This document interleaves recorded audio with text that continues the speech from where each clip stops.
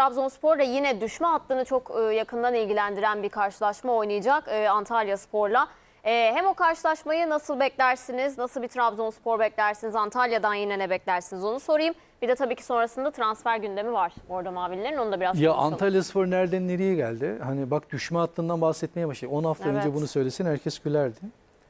Ee, şu an Trabzon'dan bir puan çıkarmasa rahatlayamıyor. Pu- puan çıkarmak zorunda. Ama e, Trabzonspor'un oyun şekliyle Antalya Spor'un oyun şekli birbirine benziyor. E, Trabzonspor'da Berat da sezonu kapattı.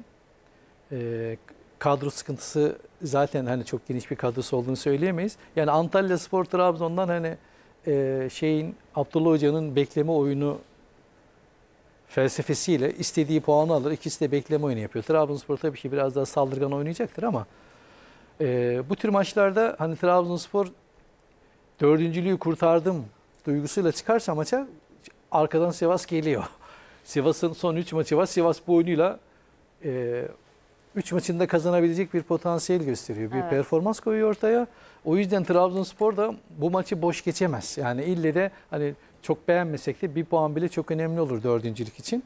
Ama Antalya Spor da artık e, keyif, sefa dönemini bitirdi.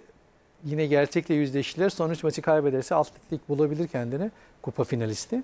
Yani kupada finale kalmış olmanın getirdiği rehaveti artık sona erdirmek zorundalar. Yoksa davulun sesi her hafta daha güçlü geliyor.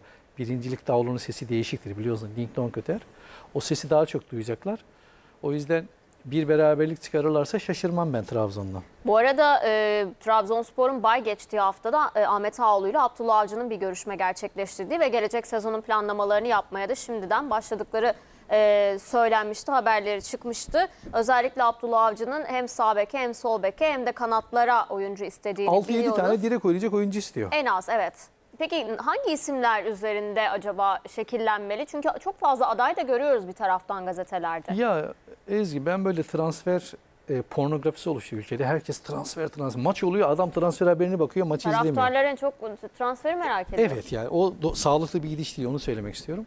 E, Ben kendimi ondan soyutlamaya, korumaya çalışıyorum ama e, çok belli Trabzon'un sağ bek sol bek Bak, ihtiyacı şeyin oldu. Seyfullah mesela hoşuna gidebilir bu transfer Evet. şeyi. Seyfullah hoşuna gider. Babamın da rahmetli babamın da adı Seyfullah. Allah rahmet Ama mesela sol bekte gördüğümüz oyuncular var. Mesela Denizli'nin sol beki Sagal sol önde de oynuyor. Onunla ilgilendiğini biliyoruz ama inşallah Trabzonspor yönetimini de buradan uyarmak istiyorum. Bu transferler söz konusu olduğunda oyuncuların onlarca menajeri çıkıyor sağdan soldan. Vakame, Vakame Çok gitmedi dikkatli abi. olmalılar. Vakame gitmedi. Oraya da gelirim. Oflucan diyesi gibi. Konudan konuya atlıyorum. Oraya da atlayacağım. Sağ bek sol bek konusunda çok titiz. Hoca haklıdır. Bir oyun sistemi var ve onun oyun sisteminde kanatlar çok önemli. E, Viska gibi bir oyuncu istiyor. Viska olmasa da Viska da herhalde 30'u aştı yaşı değil mi? Ne kadar daha verimli olur bilmiyoruz ama birkaç yılda üst noktada verim alabiliriz. O- Alabilir her takım Viska'dan. Öyle oyuncular istiyor. Nevzat'ın dediği gibi e, Vakame'nin de hocanın istediği tipte bir kanat oyuncusu olmadığını aşağı yukarı herkes biliyor.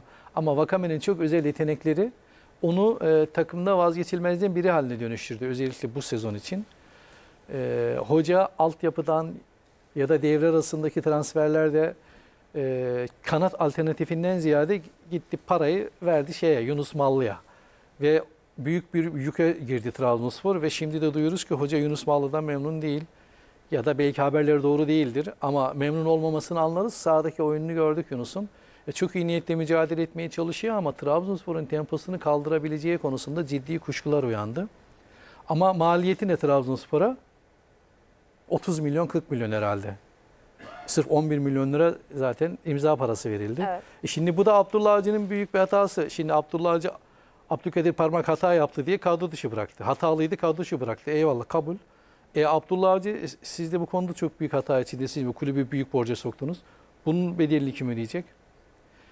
Bir de son maçta bir yanlış yaptı bana göre Abdullah Hoca. E bunları söylerken e, bu seneki eleştirilerimin e, sadece hataları görmek anlamında eleştiriler olduğunu, Evet. asıl eleştirileri seneye yapacağımızı, bu seneki eleştirilerin de hakkaniyetli olmadığını baştan söyleyeyim. Ama hoca da şunu sormalı kendine.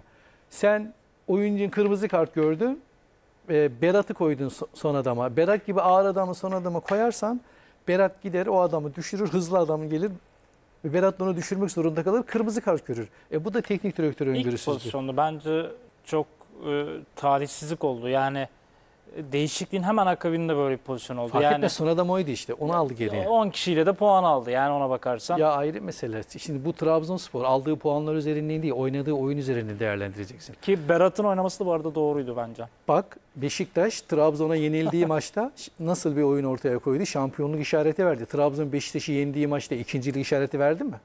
Burada Beşiktaş'ı yendi İstanbul'da.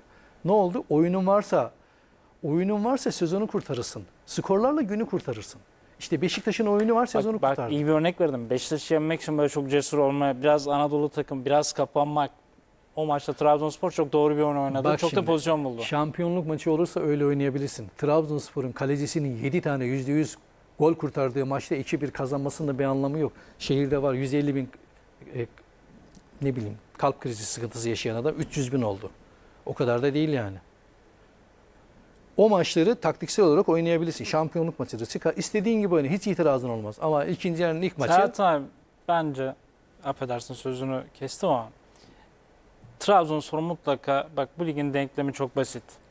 Gezzal, Beşiktaş, Yatabari, Sivas iyi böyle yaratıcı kenar oyuncularınız olduğu vakit sizi bir noktaya getiriyorlar. Sivas Yatabare değil de herhalde şeyi söylemek istedim. Ya düzeltiyorum Gradel, Max Gradel. Gradeli diyorsun. Evet Gradel, anladım. düzeltiyorum Gradel. Yatabare de iyi oyuncu bu arada da. Gradel. Gradel bir tane daha Son cümleleri alalım. Yarışmaya Ya, geçeceğiz. Trabzonspor'un da bu tarz hani Bakame'den artık e, yerine Trabzon bu tarz tavuk gibi. Nevzat. Tavuk böyle koşar koşar uçamaz ya. Jumbo uçağı gibi. Kanadın yoksa uçamazsın.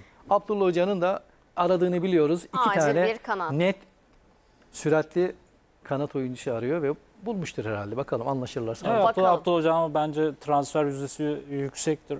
Yunus konusunda e, olabilir ama Yunus Türkiye'de kulüplerin hep düşündüğü oyunculardan Maliyeti- bir tanesi. Ben Trabzonspor'un Abdullah Avcı'nın listesi eğer gerçekleşirse ki uyumlu gibi gözüküyorlar. Trabzonspor önümüzdeki yılın çok ciddi bir şampiyonluk adayı. Trabzonspor ekonomisi bir oyuncuya 5 maçta vazgeçtiğim bir oyuncuya 40-50 milyonluk bir yatırım yapma hatasını kaldırmaz. Sorun bu. Yoksa Peki. tabii ki dediğin gibi alırsın. Maliyeti uygun olur alırsın. Yunus- Çıkmaz oyuncu. Yunus- Transfer gündemini Yunus- çok daha Yunus şey detaylı bir oyuncu değil bu e, arada. Yunus izleyeceğiz oyuncu tabii değil bu ki. arada. Peki. Yunus'u bildiğimiz bir oyuncu çünkü. Kim bilire geçiyoruz.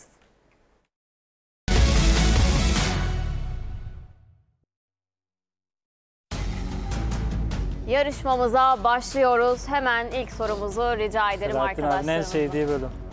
Evet. Hangi teknik adam daha gençtir? Prandelli mi, Cooper mi, Tigana mı, Halilovic mi?